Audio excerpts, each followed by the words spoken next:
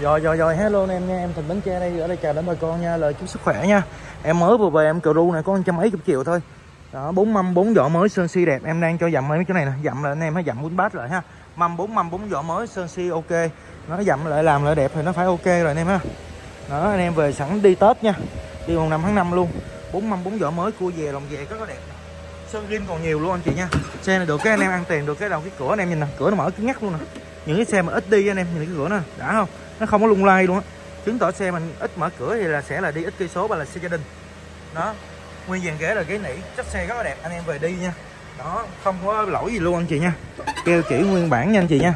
Xe được chủ nhân lên đồ chơi cũng khá là ok. Màn hình android vô lăng rất là đẹp nè anh chị. Máy 1.6 do mà tiêu hao nhiên liệu 100 cây thì nó rơi vào tầm khoảng từ 7 lít rưỡi cho đến 7 lít. Hoặc là anh em chọn ẩu thì 8 lít.